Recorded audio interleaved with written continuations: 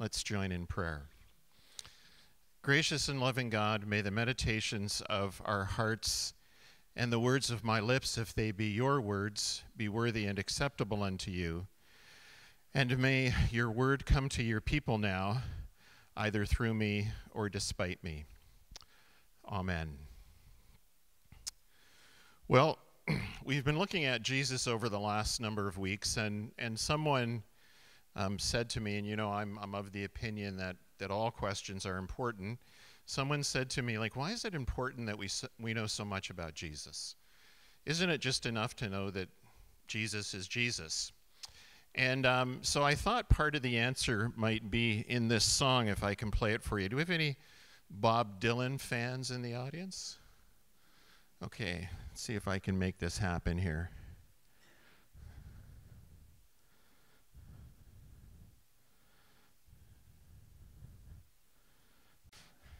Let's join in. Let's join in prayer. Gracious and loving God, may the meditations of our hearts and the words of my lips, if they be your words, be worthy and acceptable unto you. And may your word come to your people now, either through me or despite me. Amen. Well, we've been looking at Jesus over the last number of weeks, and, and someone um, said to me, and you know, I'm, I'm of the opinion that, that all questions are important. Someone said to me, like, why is it important that we, we know so much about Jesus? Isn't it just enough to know that Jesus is Jesus? And um, so I thought part of the answer might be in this song, if I can play it for you. Do we have any Bob Dylan fans in the audience? Okay, let's see if I can make this happen here.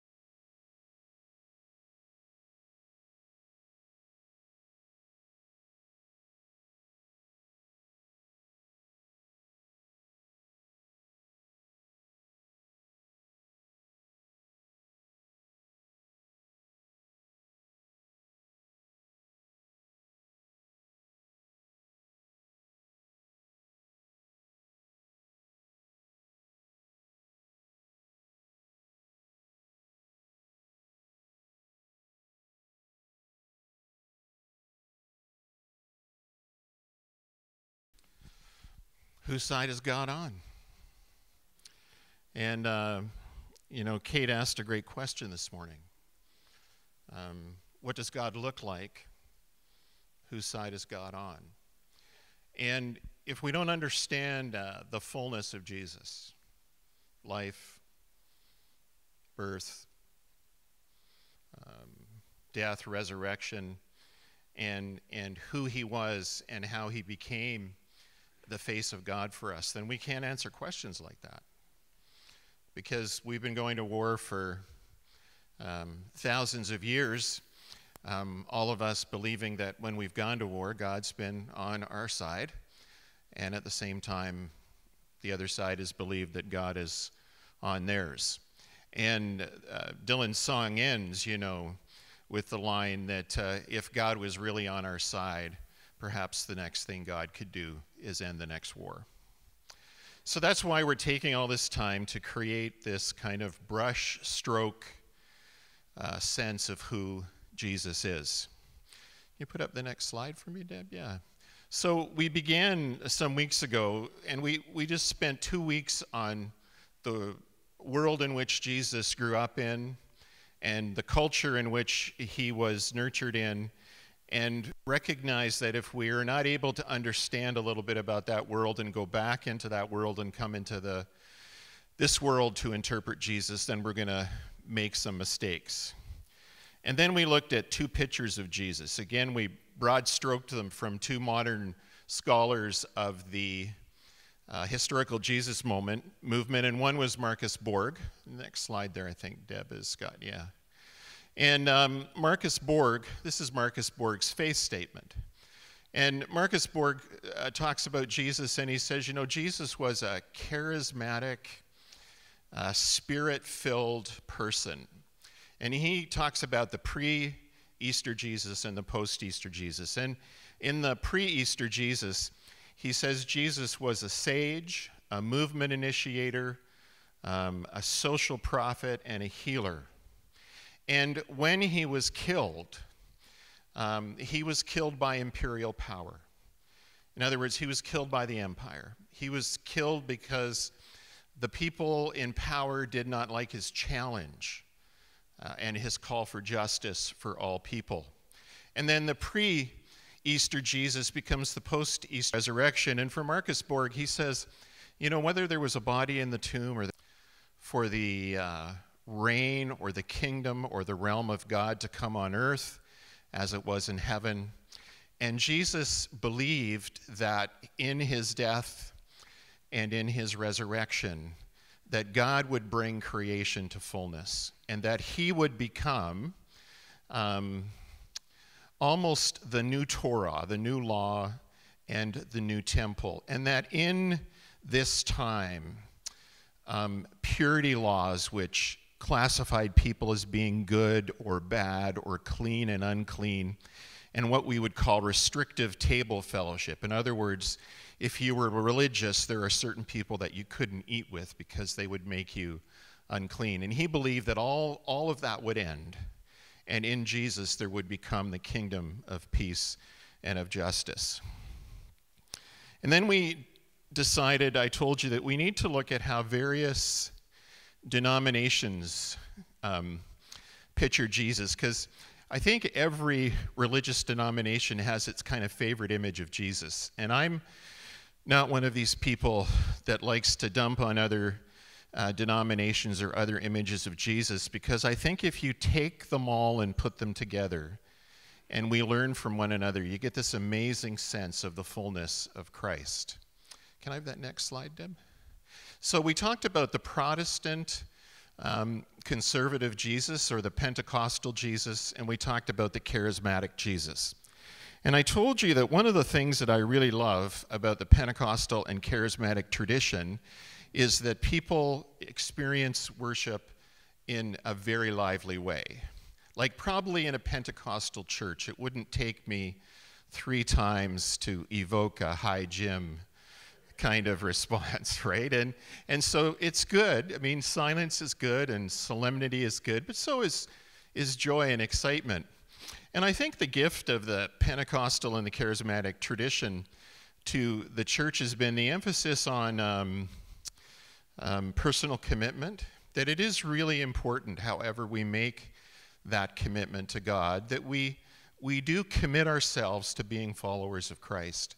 As well, I think um, the Pentecostal and charismatic tradition does stress the importance of remembering that as we go through death and as we move into the future, um, as we say in the United Church Creed, we are promised that God is with us through all of that journey. So God isn't just with us now, but God is with us in the future as well. And then I deviated a little bit because um, I wanted to uh, make sure that you understood the difference between the term evangelical and fundamentalist. All churches are evangelical. Evangelical simply means evangel, the good news, evangelism, sharing the good news. A person who is an evangelist is someone who, through what they do or what they say, shares the good news of God's love. That's very different than a fundamentalist. And a fundamentalist in any religion or any viewpoint is a dangerous thing. Fundamentalists do not dialogue well.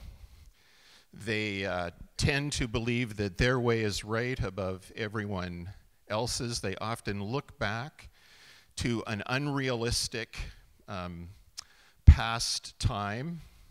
They believe that violence, uh, even killing people that are different than we are, is a way to attain what they believe is the kingdom of God. And so in our culture and in our world, we sometimes confuse the two words. Evangelism is a great word. Um, fundamentalism, in the sense that I'm talking about it, religious extreme fundamentalism that leads to violence and intolerance, uh, scapegoating of minorities, of course, is not a good thing. We spent a little bit of time talking about uh, um, atonement theology. And um, I'm going to have to dance around this one a little carefully, but one of the difficulties of um, uh, an extreme focus on atonement theology means that people often get stuck on Good Friday. So, if any of you saw that ghastly movie that Mel Gibson produced some years ago, which is, in my mind, kind of spiritual pornography and violent pornography. The problem with that movie, apart from how it, I think, is gratuitous violence, is that Mel Gibson never refers to anything before um, Good Friday. So he doesn't talk anything about Jesus' teachings. He doesn't talk anything about um, the birth stories, and he just barely hints at the resurrection. And it's like having your brain stuck on Good Friday. And if your brain is stuck on Good Friday, um, and you're misrepresenting, as I said last week, um, what atonement at one meant means.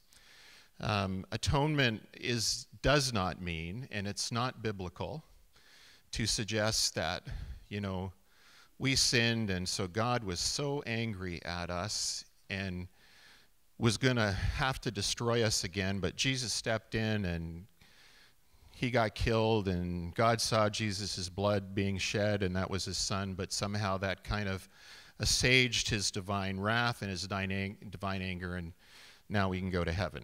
I mean, that's a, a, a corruption and a misrepresentation of atonement theology in the Bible. You know, nowhere in the Bible does it suggest that Jesus died to convince God to love us. Rather, Jesus died to convince us about God's love for us. It's a subtle difference, but it's important. And we're going to extend that today just to look at three other images. So, yeah, Roman Catholic Jesus, Orthodox Jesus, and the liberal Protestant Jesus. And I said to you, it's a little bit like a diamond. You got to have all the facets or faucets in a diamond. Facets, right? Because faucets is those things that you put water on. Okay. You have to have all the facets of a diamond. One of the things I love about the Roman Catholic tradition is its emphasis on the sacraments. So if you're a part of the Roman Catholic tradition, you go to church every Sunday and you celebrate the Mass. And big in the Roman Catholic Church is the reminder to connect the crucifixion to the resurrection. In other words, if you don't do that, and if you're stuck on Good Friday, there's no good news. I mean, what happened on Good Friday is not good news unless it's linked to the resurrection. When God raises Jesus from the dead, that's what God does. Jesus doesn't raise himself. And Roman Catholics make a strong link between the crucifixion and the resurrection. In other words, you can't have one without the other. And predominant in Catholic theology is this image of um, Jesus as uh, Christus Victor. So if you've ever seen any of those lovely drawings or paintings where Jesus kind of has a, a magnific- magnificent sense about him, he looks almost regal he looks kind of like a, an emperor or a conquering king. It's the way, it's the uh, suggestion that if Good Friday was the victory of desperation, greed, and anxiety and cynicism, then the resurrection is the victory over that and replacing that with grace and love and compassion. And that's a very strong um, image in Catholic theology.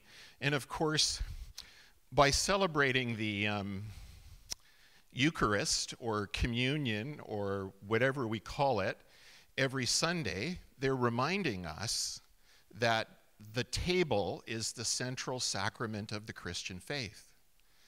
Like what Jesus left us was a meal. And he left us a meal where everyone is welcome. And that's why people eat so much in church. No, but it's true. It's true. Well, we all like food, but that's why we eat so much in church. Because we believe, based on the table, that kind of every meal is sacred. That's why we always say, you know how sometimes I'll say, well, you know, 75 people have uh, registered for this, and someone will say, well, there's no more room. And I say, well, no, no, no. There's always room because there's always food. And I have not been at an event in 17 years here where we have run out of food. And that's a wonderful symbol for the abundance of God. Now, the Eastern Orthodox faith reminds us of another important part of Jesus' life that we don't pay much attention to in culture because it comes on December 25th and it ends.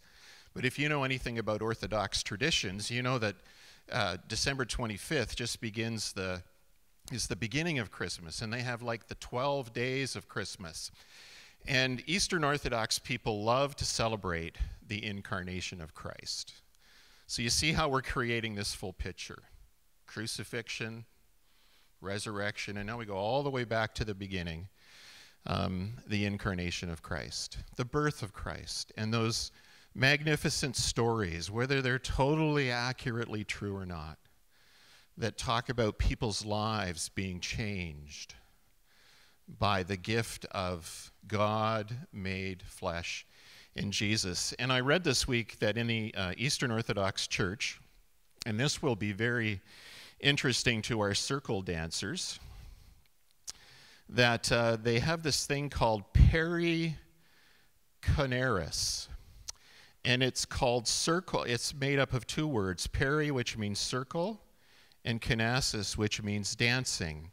And so one, I see you smiling back there, Debbie. So one of the images they have of the Trinity is this large dance. And the whole world is kind of dancing in a circle with God and with the Holy Spirit. And when people in the circle start to step on each other's toes or don't know how to dance or maybe decide they want to elbow somebody out of the dance because they're not welcome. They talk about how Jesus came um, to join the dance and to teach human beings how to dance together again. And what a lovely image that is for justice and compassion and inclusion. And, you know, if you've ever been to a, a, a dance where they get beyond couples dancing, you'll know that eventually people start dancing together. And if it's a really um, uh, astute group, then they'll start to kind of go out onto the edges and bring in the people that are a little shy and maybe you don't know how to dance and teach them how to do it. And like, what a lovely image for how the Spirit infuses uh, the work of the church in the world. Now, the next one would be the liberal Protestant Jesus. And I would say that that's the Jesus of the social gospel. And the gift of the liberal Protestant Jesus and the whole social gospel movement that originated in Western Canada, and a lot of the work that the United Church has done and done through the centuries, is that we try to always remember that between the birth of Jesus and the crucifixion of Jesus, he had this amazing life. And in this amazing life, he was attempting to teach people how to live. And he was attempting to teach people how to live, not to affirm necessarily all that we do as human beings, but in a way that is counter-cultural, counter-normal. I was reading this week a reflection from somebody who was um, writing um, in our British Columbia uh, Spiritual Care Network. They send out a uh, weekly email to the different churches and the different ministers. And they said, you know, it may be the it may be in the end that all the church has to offer the world is a suggestion that the way that we live is irrelevant in comparison to the gospel, and that the gospel way of living is the relevant way that may save the earth. And so when we talk about the life of Jesus, we talk about um, social justice. We talk about the Sermon on the Mount. We talk about loving our enemies. Um, we talk about going the second mile. I, I, don't know whether you know about that phrase, go the second mile. It was actually an anti imperial, pro justice um, activity that was created not necessarily, I'm not sure whether it was created before Jesus died or after Jesus died, but um, if you lived under Roman oppression, the, the Roman army could ask you as a Jewish person to carry a soldier's backpack for one mile.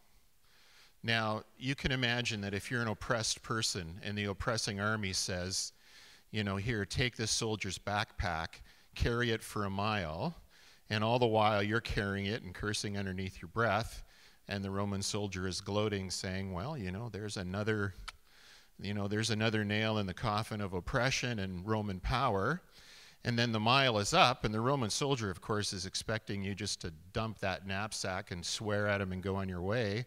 And you say, hey, why don't I carry that for another mile? You kind of take the steam out of the oppressor. And so, in that way of nonviolence, Jesus called uh, people to live. And so, if you take these different uh, focuses on Jesus that we have because, you know, one of the challenges in the United Church has been um, we have to also remember that we're not just a social justice movement, but we're also a church. Spiritual practice is important, prayer is important. Just as you're beginning to see, and we've seen over the last number of years, in a number of evangelical churches in Canada, a very strong movement towards working for social justice. And I call that kind of a balancing. And so if we kind of take the best of these traditions, you see that we're picking up what the birth of Jesus meant, what the life of Jesus meant, what the death of Jesus meant, and what the resurrection of Jesus meant as kind of not an isolated act, but going all the way back to creation. The, the gift of Jesus is the continual theme through the whole Hebrew scripture of God making covenant with people, uh, of God calling normal human beings to live in relationship, uh, to work for justice, to trust in God's love. And we understand in the church that, that in some ways the person of Christ becomes the height of that covenantal love. And what flows from that is a continuation of that that is still active in the world through the Holy Spirit. Now, we had a lovely service on Friday that Pat put together, and a number of people helped. And we had um, people from different denominations. And I have to tell you, there was this lovely um, older woman. Um, and you know, people were saying, "Oh, I'm from the Mennonite Church. I'm from South Delta Baptist Church. I'm from such and such a church." And sometimes when you start to identify yourself by denominations, you kind of wonder, you know, what people think of each other because you know, denominational rivalry and denominational judgment all across the board sometimes happens. And she's she's just kind of standing at the back there, and she starts stamping her feet, and she says I'm from such and such a church, and you know what? I am just happy to worship God with anybody who calls himself a Christian. And she was just filled with uh, joy, and it was absolutely wonderful. And if you read the prayer of confession, you kind of heard how, you know, the prayer of confession wasn't just praying about my individual sins, it was praying about corporate sin, corporate injustice how we're harming the earth, um, what unregulated mining and unregulated deforestation does in countries around the world. And it calls us to be cognizant as Christians that um, the Christian life is not just about my spirit. It's not just about my journey to the afterlife. It's about uh, that wonderful word politics right? What do you think about when you hear politics? Sorry? Value? Values, yep. See, corruption, yeah. Okay. Broken promises. Necessary evil. I think Owen knows where I'm going to go here. But you see, there's such there's partisan politics, but there's also this beautiful word political from the Greek word polis, city, which means the care of the city. So that's really what politics is about. And, and Jesus, in that sense, I mean, he wasn't from the NDP, wasn't from the Liberal Party, wasn't from the Conservative Party, the Republicans, or the Democrats.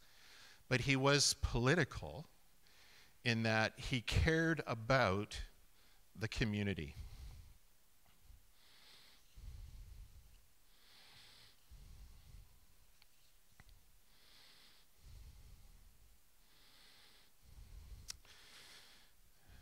So, just in closing this off, um, I, I did a memorial service yesterday for Dan Kierkegaard, and the family had chosen uh, a lesson from John that I don't read very often at um, memorial services. So I did a little reading in the commentary, and it was interesting to know that the commentary said that um, while Matthew, Mark, and Luke talk a lot about um, the way that people should live. So they, the Sermon on the Mount and Jesus' various commands and commandments.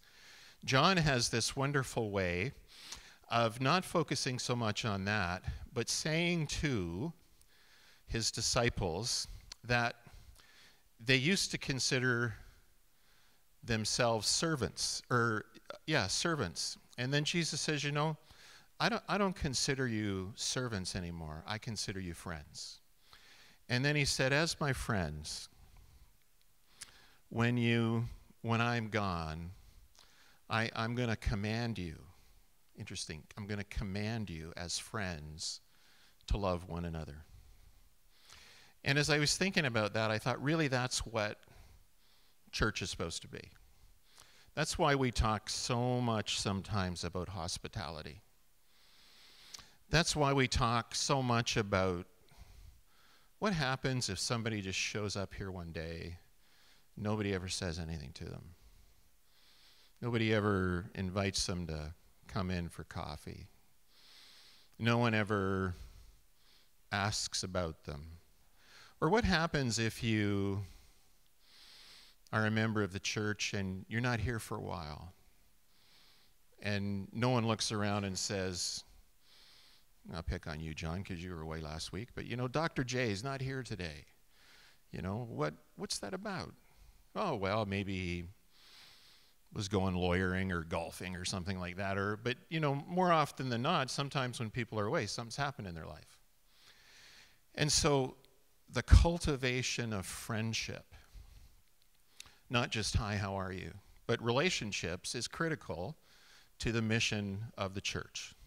Because somebody said to me last week, How come you make us talk to each other?